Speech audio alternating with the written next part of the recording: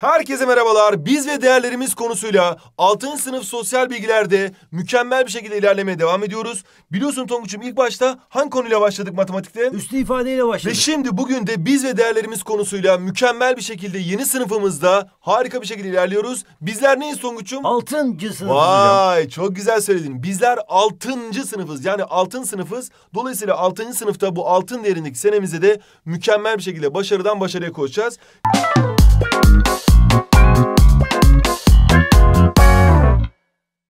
Biz de değerlerimiz konusunu öğreneceğiz.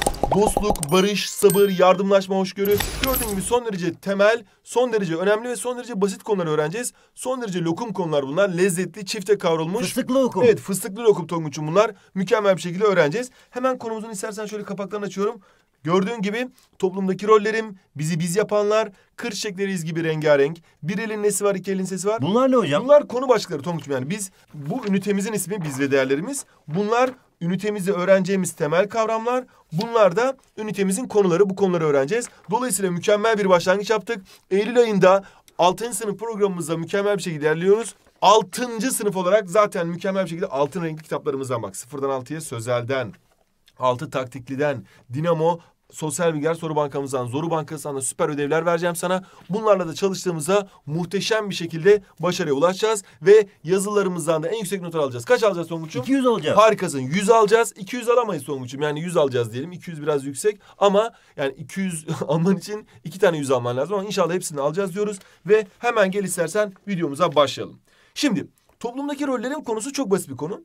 Bir işte bir kişinin üstüne düşen göreve biz rol diyoruz. Mesela senin şu andaki rolün nedir? İşçiyim hocam. Hayır ne işçisi evladım sen öğrencisin. Sen şu anda beni dinliyorsun bir öğrenci olarak derse katılıyorsun. Her rolün kendisinden beklenilen de bir davranış var. Mesela senin senden beklenen davranış dersi dikkatli bir şekilde, uslu bir şekilde dinlemen.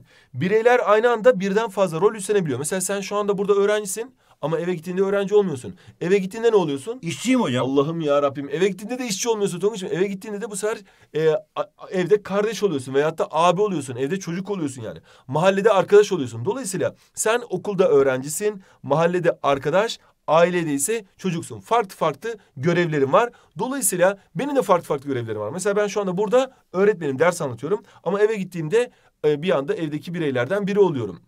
Veya işte anne babamın yanına gittiğimde çocuk oluyorum mesela. Annem babam bana aa öğretmenimiz gelmiş demiyorlar. Bana o oğlum sen mi geldin diyorlar. Onun için hala ben çocuğum. Ya da mahallede ya da e, dışarıda arkadaşlarımla buluştuğumda bana o öğretmenimiz gelmiş demiyorlar. Bana arkadaş diyorlar. Dolayısıyla benim de toplumda farklı farklı rollerim var. Senin de farklı farklı rollerin var. Şu anda bizi izleyen arkadaşların da toplumda farklı farklı rolleri var. Ama senin birinci rolün nedir Tonguç'um? Öğrenci olmak hocam. Harikasın. Senin birinci rolün öğrenci olman. Benim birinci rolüm öğretmen olmak. Ben öğretmen olarak biliniyorum. Sen de öğrencisin. Senin görevin en büyük rolün öğrencilik. Çünkü toplumsal hayatta dışarıda seni en çok insanlar öğrenci haline biliyor.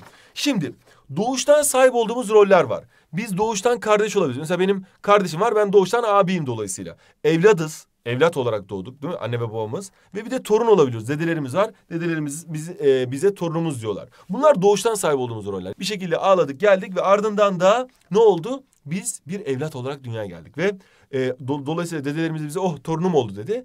Ve bu doğuştan sahip olduğumuz rollerdi. Sonradan ise kendi kişiliğimizi kullanarak, kendi gayretimizle, ailemizin desteğiyle bazı roller kazandık. Mesela öğrenci olduk öyle değil mi?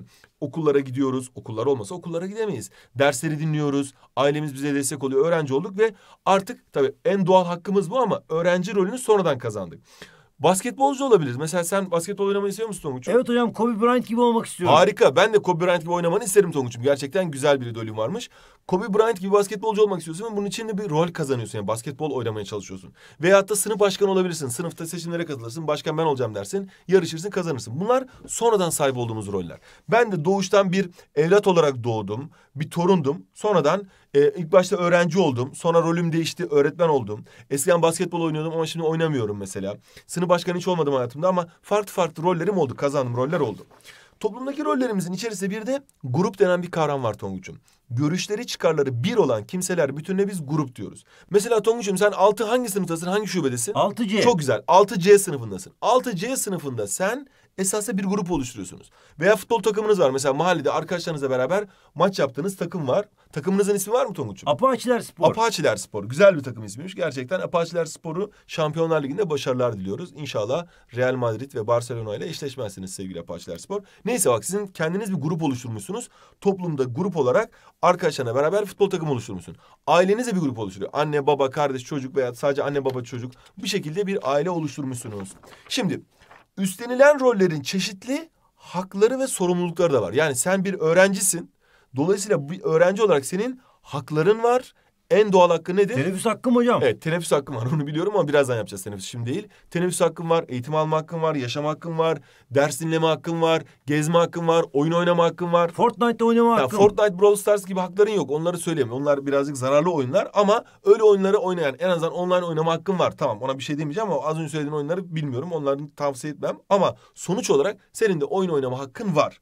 Ama sorumlulukların da var.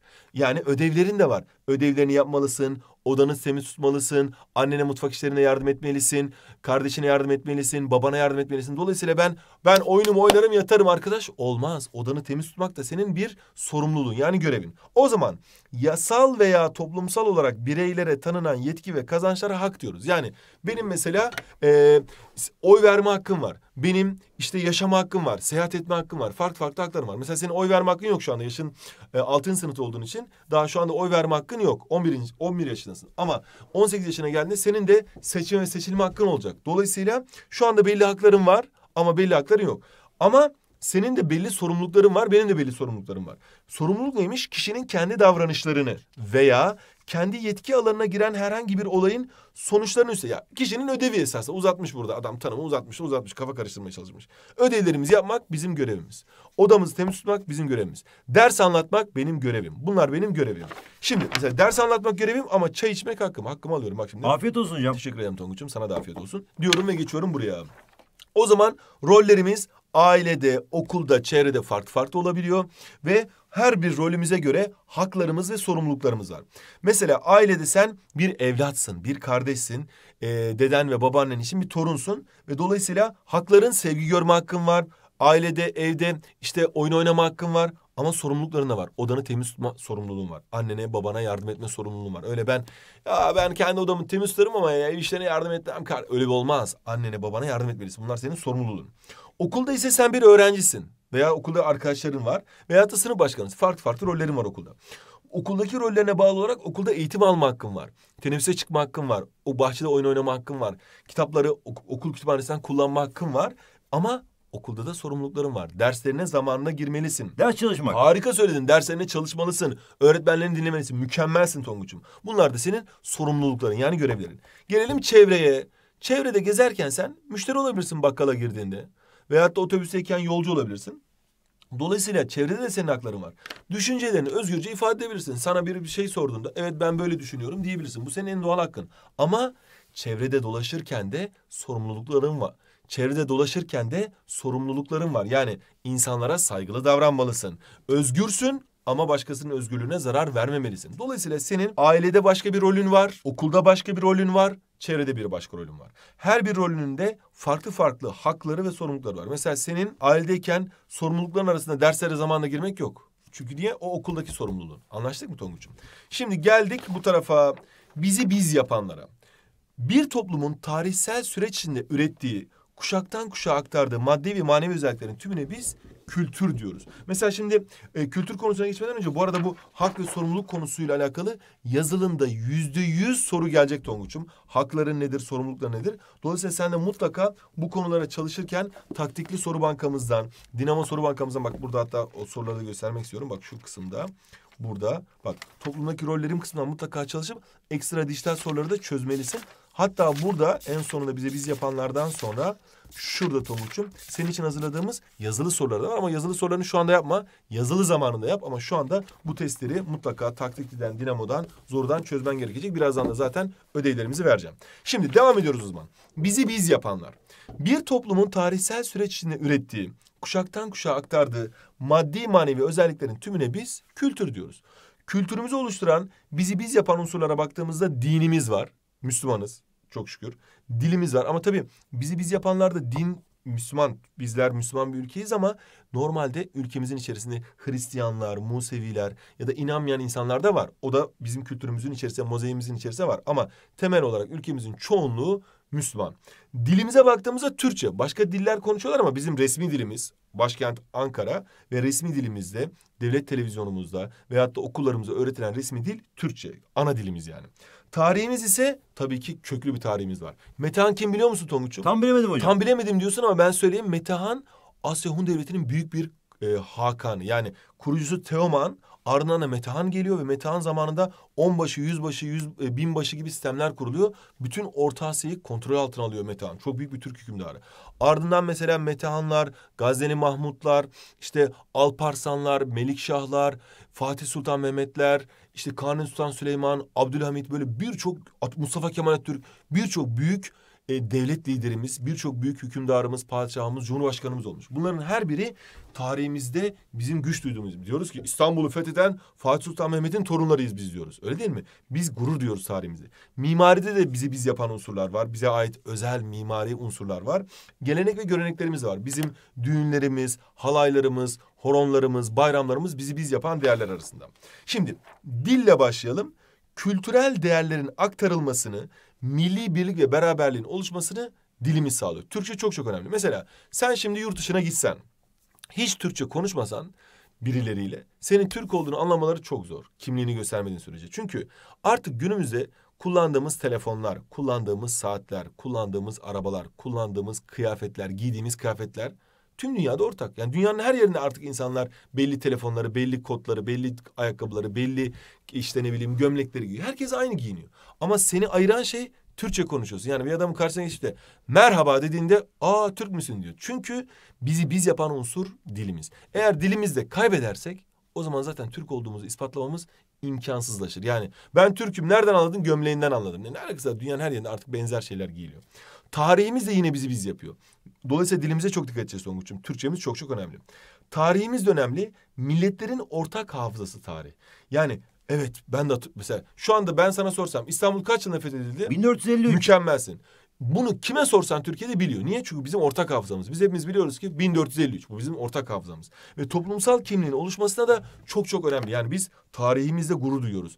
Böyle ülkemize yönelik birileri tehdit ettiğinde diyoruz ki hadi oradan kardeş kimsin sen? Biz Selçukluların, Osmanlı'nın, Mustafa Kemal Türklerin devamıyız. Sen kimle raks ediyorsun, kimle dans ediyorsun diyoruz. Böyle gücümüze güç katıyoruz ve böyle karşı tarafa diyoruz ki haddini bil, kendine gel diyoruz. Ama bunları bilmesek biri bize diklendiği zaman ya inşallah bir şey olmaz diye korkarız. Ama tarihimizden güç alıyoruz. Gelenek ve göreneklerimiz de çok değerli Tonguç'um. Bizi bir araya getirir ve ortak duygularda buluşmamızı sağlar. Düğünlerimiz, el sanatlarımız, halk oyunlarımız, asker uğurlama. En büyük asker en bizim büyük asker. asker. bizim asker. Çok güzel bak sen de söyledin ben de aynı anda söyledik. Bu çok güzel bir söz. Niye? Biz askerimizle gurur duyuyoruz. Her Türk asker doğar diyoruz. Yani bizde askerlik bir meslek değil. Merhaba mesleğiniz nedir? Doktorum. Aa çok güzel. Sizin mesleğiniz öğretmenlik. Ama hepimiz birer askeriz. Niye? Çünkü biz asker bilet anlayışından gelen bir e, milletiz. Dolayısıyla asker uğurlama bize çok önemli. Yani bir arkadaşımızı, bir sevdiğimizi askere uğurlarken onu omuzlarımızda taşıyoruz. O bizim için çok değerli. Bu bizim gelenek ama başka ülkelerde adam askere gittiğini telefonla haber. Arkadaşlar ben askere gittim hadi görüşürüz kapatırım bay diyor. Bizde ise çok değerli. Dinimiz yine çok değerli. Biz İslam dininin etkisi yaşamımıza, sözlerimize ve davranışlarımıza yansıyor. 751 Talas Savaşı'ndan sonra biz Türkler İslamiyetle tanışıyoruz ve sonradan dünya üzerinde İslamiyete en fazla hizmet eden milletiz. Yani İslamiyete çok büyük tehditler oluyor. Böyle işte Mekke, Medine var ya şimdi İslamiyet'in doğduğu yer, peygamberimiz yaşadığı yer. Oraya böyle dünyanın her yerinden haçlar saldırıyor. Haç seferlerini durduruyoruz. Osmanlı Devleti dünyanın her yerine İslamiyet'i yayıyor. Dolayısıyla bizler İslam dini için çok büyük bir milletiz. İslam dinine çok büyük hizmet etmiş bir milletiz. Ve dolayısıyla İslam dini de tabii ki bizim yaşantımızı, sözlerimizi etkiliyor. Mesela İnşallah hocam. bak çok güzel bir şey söyledin. İnşallah hocam dedin. Bak inşallah İslamiyet'ten yani Allah'ın izniyle demek inşallah. Biz onu artık dilimize yapışmış. Yani İnşallah. Bir şey görüyoruz. Oo maşallah diyoruz. Yani ne kadar güzel yaratılmış. Allah ne güzel yaratmış manasında. Dolayısıyla bu biz Allah'a olan inancımız ve İslam dini etkisiyle dilimize de yansımış. İnşallah maşallah. Eyvallah hocam. Eyvallah Tonguç'um eyvallah eyvallah. Tamam yani sen de abarttın şimdi. İyi ki bir inşallah maşallah şimdi eyvallah da gidiyorsun. Eyvallah da mesela yani Allah'a emanet gibi. Yani eyvallah görüşürüz gibi. Dolayısıyla bunların her biri bizim dinimizin dilimize yansıması ve aynı zamanda davranışlarımıza da yansıyor. Adaletliyiz, yardımseveriz. Zaten İslam dinine tanışmadan önce de adaletli olmak, yardımsever olmak yani bu insani özellikler zaten olmalıydı ve biz bunu İslamiyet'te daha da geliştirmiş olduk. Mesela yardımseverlik güzel bir şey. İslam dininde de zaten zekat var. İhtiyaç sahiplerine yardım etmemiz gerekiyor. Bizi biz yapanlarda bir de mimari var. İslam kültüründe cami şehrin merkezine yer almış ve etrafında da şehir inşa ediliyor. Yani ortada cami var, caminin yanına okul, medrese, yanına hastane, şifahane, e, imaret yani aşevi yani ihtiyaç sahiplerine yemek dağıtılan yer, çeşme yani su ihtiyacı karşılanan yer, çarşı, pazar kuruluyor ve caminin etrafına gelişiyor. Gerçekten de böyle Anadolu'daki küçük kentleri ziyaret ettiğiniz zaman böyle bir merkez cami vardır. Adı Ulu Cami'dir. Ulu Cami'nin etrafında gelişiyor kentlerimiz. Şimdi gelelim diğer bir konumuza. Kır çiçekleri gibiyiz rengarenk. Sen çiçek olsaydın hangi çiçek olurdun Tonguç'um? Diken olurdum hocam. Evet bence de diken olurdun haklısın Tonguç'um. Senden ancak hayır olur mu? Sen de çiçek gibisin Tonguç'um. Karanfil olabilirsin, lale olabilirsin, gül olabilirsin, sümül olabilirsin. Esasında insanlar her birimiz yani beyazıyla, siyahıyla, esmeriyle hepimiz tamam? Siyahisiyle hepimiz birer çiçek gibiyiz ve biz Türk milleti olarak da ülkemizin içerisinde yaşayan insanlar olarak da kır çiçekleri gibi rengarenk farklı farklılıklarla bir renk katıyoruz. Yani kimimiz sarışın, kimimiz esmer, kimimiz turuncu saçlı farklı farklı renklerde olabiliyoruz ama bu bize bir güzellik, bize bir renklik, rengarenklik katıyor. Şimdi halkın bir grup hakkındaki inancı, bir grubun başka bir grup hakkındaki duygusallaşmış, tecrübeyle çok az değişmiş olan inancına kalıp yargı denir. Şimdi buraya bakalım. Burada bir kalıp yargı ve ön yargı diye bir kavramımız var. Biz bu konu adına neden kır çiçekleri gibi izledik? Esasında birbirimize karşı ön yargılı olmamamız gerekiyor. Yani işte sarışınlar çok e, saftır. Yani ne alakası var? Veyahut da işte siyahiler çok güçlüdür. Ne, ne bileyim. Veyahut da şunlar şöyledir. Bu, bunlar, bunlar esasında kır çiçeklerinin içerisinde farklı farklı renkler varken birbirimize karşı yapmamamız gereken şeyler. Yani sen işte uzun boyluların kafası fazla çalışmaz. Yani ne alakası var? Uzun boylu bir insanla kafası çalışabilir. Ya da çalışmaya da bilir bilemezsin. Bunlar böyledir şunlar şöyledir. Öyle değil. Bu tarz şeylerden uzak durmamız gerekiyor. Hepimiz farklıyız. O uzun olabilir. O işte normal olabilir. O hafif toplu olabilir. O hafif sarışın olabilir. O hafif işte esmer olabilir. Hepimiz farklı farklıyız. Dolayısıyla bizler kır çiçekleri gibi izlemek istiyoruz. Burada kalıp yargı ve ön yargı diye bir kavramımız var. Kalıp yargı bir grup hakkındaki inanç. Yani yaramaz çocuklar zekidir. Yani bilemiyorum bazı yaramazlar çok da zeki olmuyor. Kızlar futbol oynayamaz. Yo artık e, kızlar da futbol oynuyor biliyorlar. Erkekler yemek pişirmez. Ne alakası var ya dünyanın en ünlü aşçıları erkek. Erkekler ağlamaz. Ben ağlıyorum hocam. Ben de ağlıyorum bak sen ağlıyor musun? Ben de ağlıyorum. Ne alakası var? Ağlayabilirsin. Ayağın acıdı, ayağın ayağın kanıyor mesela. Ben ağlamam, ben erkeğim. Aa! Öyle bir şey yok ki. Ağlayabilirsin. Erkekler de ağlayabilir. Kızlar da futbol oynayabilir. Erkekler de yemek pişirebilir. Yaramazlar da tangoz olabilir. Zekiler de yaramaz olabilir. Her an her şey olabilir. Yani bu kalıp yargılardan uzak durmamız lazım. Ön yargı ise bir kimse veya bir şeyle ilgili olarak daha böyle dara, daraltılmış, olumlu veya olumsuz önceden görüş bildirmek. Mesela maçı kesin bizim takım kazanacak. Nereden biliyorsun? Belki yenileceğiz. Bardağı kesinlikle Ahmet kırmıştır. Bilemiyorsun belki de Ahmet kırmadı. Eminim ki bu sınavdan iyi not alacak. Yani genellikle ön yargılar olumsuz oluyor ama olumlusu olabilir. Mesela işte diyelim ki bu filmi kimse izlemez dediğinde olumsuz ön yargıda bulunuyorsun. Senden adam olmaz. Ah, çok güzel bir cümle söyledim bak. Senden adam olmaz. Ya ne diyorsun ya? Niye öyle ön yargıda bulunuyorsun ki? Belki de derslerine çalışacak ve düzelecek. Bu tarz şeylere biz ön yargı diyoruz ve ön yargı esasında iyi bir şey değil. Hatta ünlü bilim insanı Einstein diyor ki ön yargıları parçalamak atomu parçalamaktan daha zor diyor. Yani adamın bir ön yargısı varsa değiştiremez. Ya bu böyleyse bu böyledir. İşte bu, bu. Ya nereden biliyorsun? Bir dakika ya. Niye öyle düşünüyorsun dememiz lazım. Ön yargılarımızdan ve grup hakkındaki kalıp yargılarımızdan kurtulmamız lazım. Ön yargının çeşitleri var. Mesela cinsiyet ayrımı. İşte kızlar bunu yapar. Ya ne diyorsun ya? Mesleki ayrım. İşte e, e, bu, bunlar böyledir. İşte veyahut da işte atıyorum doktorlar yazısı çok kötüdür. Yani ne alakası bazı doktorlar çok güzel yazabiliyor. Din ve mezhep ayrımı. İşte onlar böyledir bunlar şöyledir. Veyahut da milliyet ayrımı. İşte ee, işte şu millet kötü bir millettir. Nereden biliyorsun? İyisi de var, kötüsü de var. Fiziksel ayrım. İşte uzun boyluların kafası çalışmaz. Ne alakası var ya? Uzun boylular sadece basket oynasın. Yani olmayabilir, tam tersi olabilir. Sosyal sınıf ayrımı. Veyahut da buna benzer farklı farklı ön yargılar var. Bu kötü bir şey. Bir de ön yargıları yıkmamız lazım. Bunu nasıl yıkabiliriz? Etkileşime geçtiğimizde, insanlarla sohbet ettiğimizde, empati kurduğumuzda, yani kendimizi onun yerine koyduğumuzda ön yargı yıkılıyor. Bak sana çok güzel bir ön yargı örneği vereyim. Ben üniversitede okurken Japon bir arkadaşım vardı. Arigato Kawasaki Hiroshima. Çok güzel. Sen de Japonca bilen güzelmiş Tonguç'um. Şimdi burada bu Japon arkadaşım ama ben bir gün dedim ki üniversitedeyken daha doğrusu o bana dedi ki abi dedi sana bir şey söyleyeceğim ama dedi sakın dedi alınmak yok dedi. Tabii ki dedim söyle abi dedim. Ondan sonra İngilizce konuşuyoruz tabii biz. O Türkçe bilmiyor. Ben de Japonca bilmiyorum. İngilizce konuşuyoruz. Dedim ki buyur abi söyle. Abi de ama alınmayacaksın. Ya niye alınayım söyle dedim ya. Ama alınmayacaksın ha kırılmak yok. Tamam dedim ya söyle. Abi dedi siz hepiniz birbirinize benziyorsunuz ya dedi. Birbirinizi nasıl ayırıyorsunuz ya dedi. Hepinizin gözleri normal dedi. Hepiniz dedim şaka mı yapıyorsun? Bizim kimimiz sarışın, kimimiz mavi gözlü, kimimiz siyah gözlü, kimimiz esmer. Ama hepiniz aynısınız. Bakışlarınız hep aynı abi dedi. Esas abi dedim siz aynısınız ya dedim. Madem alınacaksın ben sana söyleyeyim dedim. Ya siz hepiniz birbirinize benziyorsunuz dedim. Hepinizin gözleri böyle çekik göz dedim. Olur mu abi bizim de kimimiz mavi gözlü, kimimiz yeşil gözlü, kimimiz sarımız, kimimiz esmer, kimimiz sakallı, kimimiz yüzü daha güzel, kimimizin burnu daha... Biz ayırabilir... Aa, o zaman ön yargıyı anladım, kalıp yargıyı anladım. Demek ki biz onların hepsi birbirine benziyor diyoruz. Aslında onlar da bize hepsi birbirine. Çünkü insanın gözü çok önemli. Gözünü hep bizim şu anda Türkiye'de yaşayan herkes gözlerini bir anda şöyle çekik yapsa, şöyle çekse hepimiz birbirimize benzeyeceğiz zaten. Çünkü hepimiz çekik gözlü olacağız. O detayları göremeyeceğiz. Çünkü insanın ilk baktığı yer göz. Dolayısıyla onlar da bizim hepimizin gözleri düz ya çekik değil ya hepiniz birbirinize benziyorsunuz abi nasıl ayırıyorsunuz birbirinizi diyor. Ben o zaman anladım ki gerçekten ön yargı ya veya kalıp yargı gerçekten böyle bir şeymiş. Yani hepsi birbirine benziyor diye düşünüyoruz. Öyle bir şey olsa adamlar karıştırırlar birbirlerine. O kadar milyarlarca, milyonlarca insan bir, sürü hata yaparlardı. Öyle bir şey değil. Hepsi birbirini ayırt edebiliyor. Biz Türkiye'de birbirimize bir, aa sen abi bizim Kemal'e çok benziyorsun. Aa sen aynı Emrah'a benziyorsun deriz. Öyle benzerlikler tabii ki dünyanın her yerinde var. Ama herkesin birbirine benzediği, penguen gibi birbirine benziyorlar zannediyordum ben. Hiç öyle bir şey yokmuş. Onlar da bizi öyle zannediyorlarmış. Dolayısıyla ön yargılarımızı yıkmamız lazım. Burada da Einstein'ın söylediği söz çok güzel ön yargıları yok etmek atom çekirdeğini parçalamaktan daha zordur demiş. Şimdi geldik bir elin nesi var iki elin sesi var da sivil toplum kuruluşlarına, vakıflara ve İBNC'lere. Sivil toplum kuruluşu demek şu. Toplumdaki çeşitli sorunları bağımsız olarak ele alıp kamuoyunu bilgilendirme ve aydınlatma görevi yapan öneriler sunan her türlü birliği ediyoruz. Yani toplum için yararlı olmaya çalışan kuruluşlar.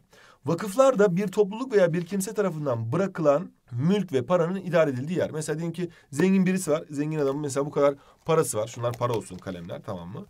Bunları vakıflara veriyor. Vakıflar da bunları ihtiyaç sahiplerine dağıtıyor.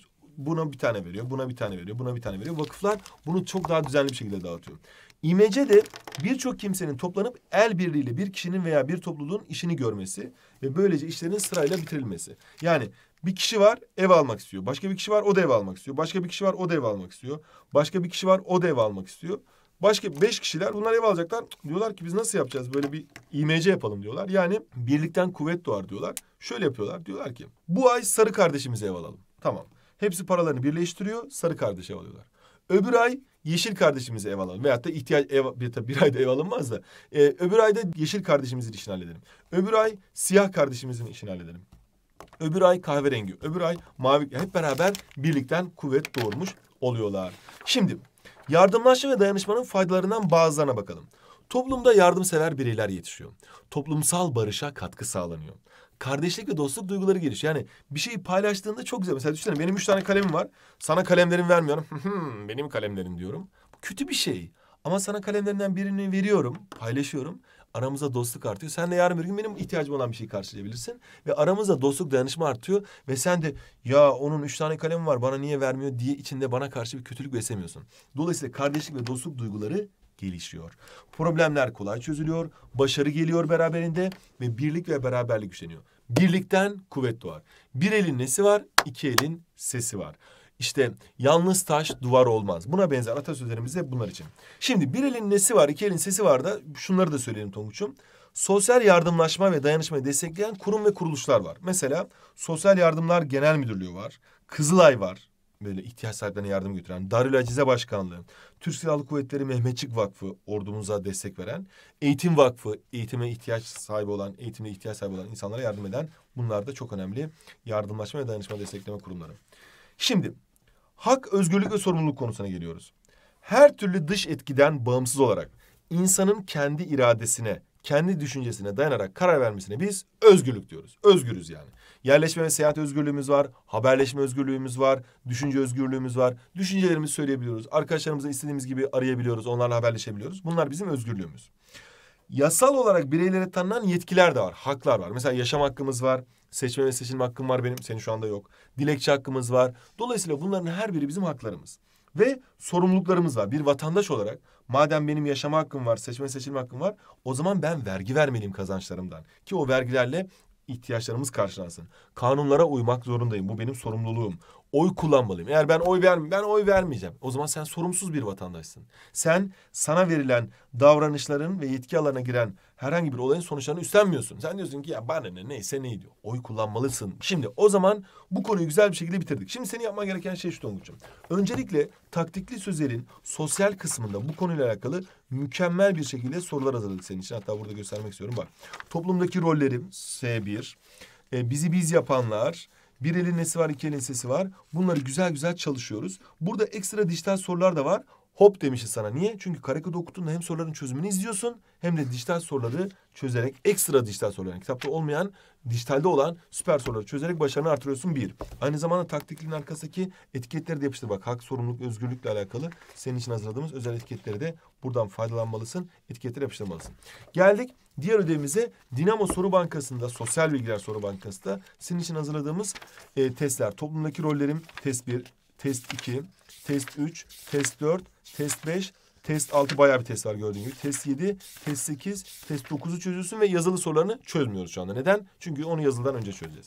Zoru Bankası'nda tüm derslerde de burada senin için hazırladığımız sosyal bilgiler kısmında testimiz var. Onu da hemen göstermek istiyorum. Bak burada. Toplumdaki rollerimizi biz yapanlar ve ekstra dijital sorular. Kır çiçekleri gibiyiz rengarenk ve bir elin nesi var iki elin sesi var. Buradaki testlerini yapmanı tavsiye ediyorum Tonguç'um. Buradan yapacağın sorular sana başarı katacak. Konu anlatım için de sıfırdan altıya sözelde de konu anlatımından güzel güzel çalışabilirsin. Hadi bakalım o zaman ödülü sorumuzu yap yorumlara yolla. Şimdi o zaman senin sorumluluğun neymiş? Ödevlerimi yapmak. Harikasın. Ödevlerini yapmak, derslerine başarılı olmak. Ben de sana derslerinde sizlere de arkadaşlar e, derslerinize başarılar diliyorum. Hadi bakalım görüşmek üzere. Thank you.